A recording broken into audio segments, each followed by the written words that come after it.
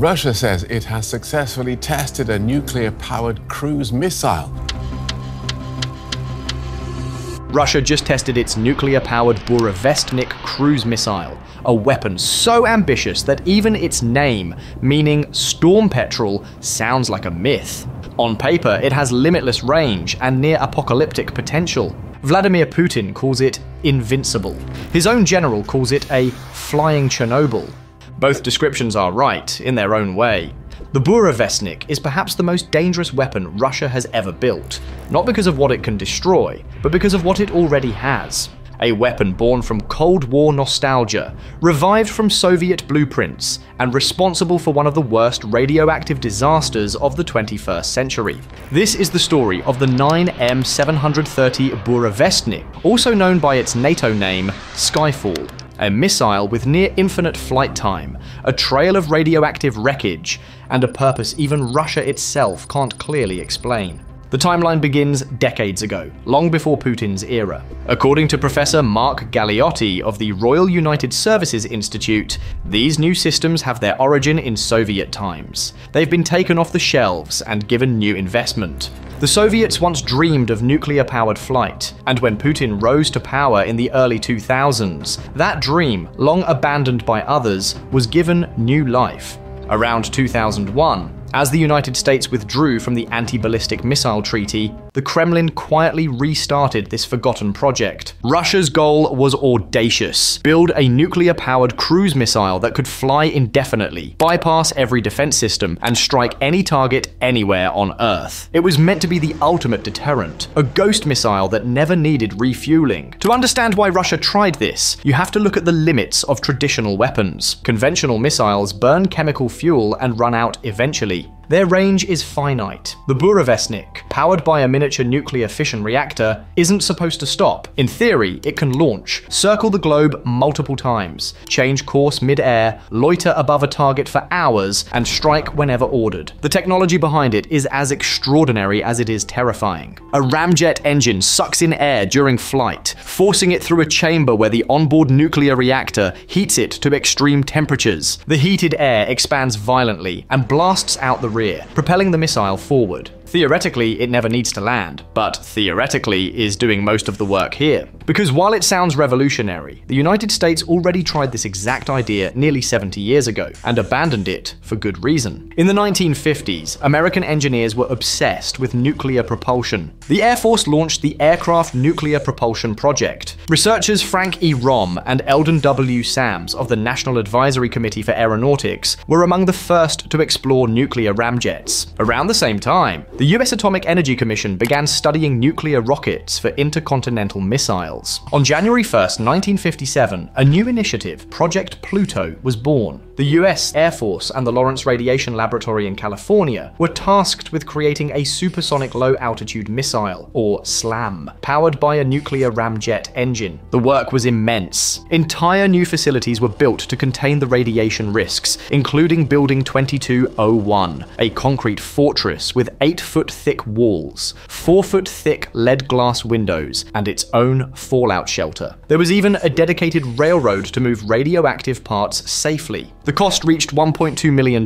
then, about $12 million today. Every bolt, every screw had to be perfect, because one mistake could irradiate the Nevada desert. Despite the danger, the project succeeded, partly. Two prototype engines, Tory 2A and Tory 2C, were tested in 1961 and 1964. Both worked, but success came with a terrifying catch. The unshielded reactors spewed radioactive isotopes like cesium 137 and iodine 131 into the air. The missile's exhaust was literally a stream of nuclear waste. By July 1964, the Pentagon cancelled Project Pluto. Three reasons sealed its fate. First, intercontinental ballistic missiles, ICBMs, had evolved faster than anyone expected. They could fly farther, faster, and with greater precision, making nuclear cruise missiles redundant. Second, the environmental risk was staggering. A single flight could poison everything along its path. Third, the engineering challenges were endless.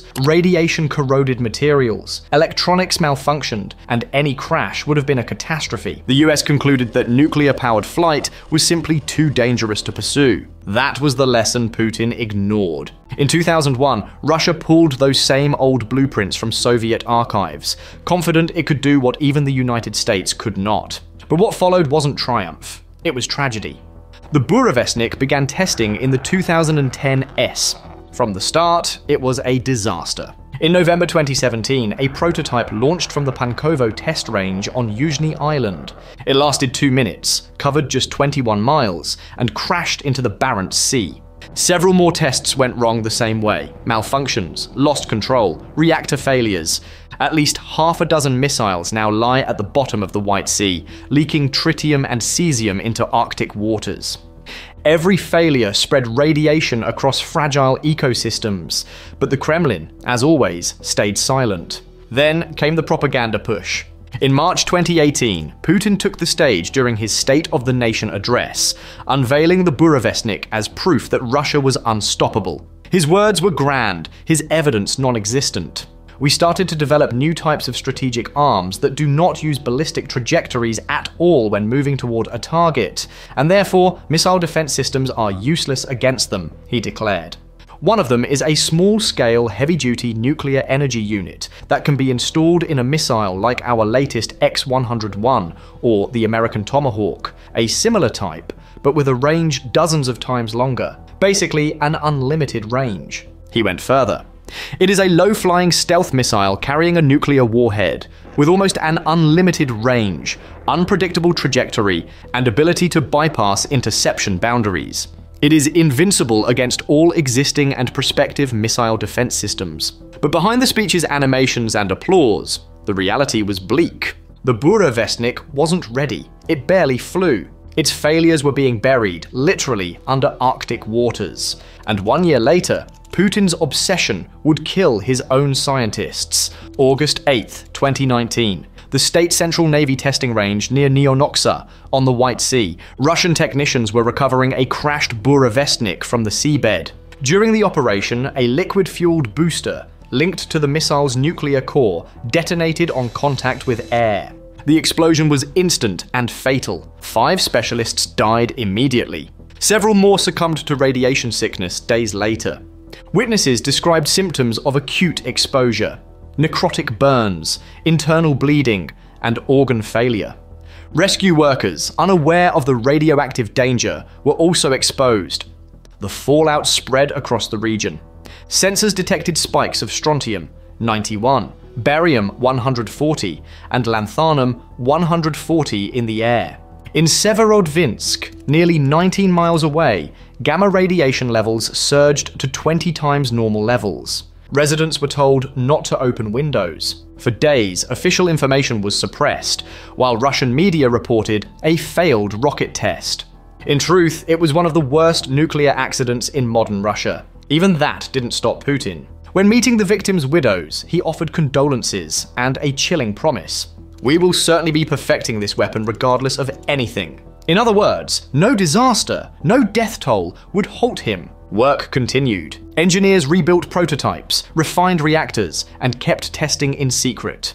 Putin announced the long awaited success. Standing beside General Valery Gerasimov, he declared that the Burevestnik had completed a 14,000 kilometer test flight, roughly 8,700 miles across the Arctic. I clearly remember, Putin said, that when we announced the development of this weapon, even very high level, top class specialists told me the goal was worthy but unattainable. And now crucial tests have been completed. Obviously, substantial work remains to place this weapon on combat duty, but the key objectives have been achieved.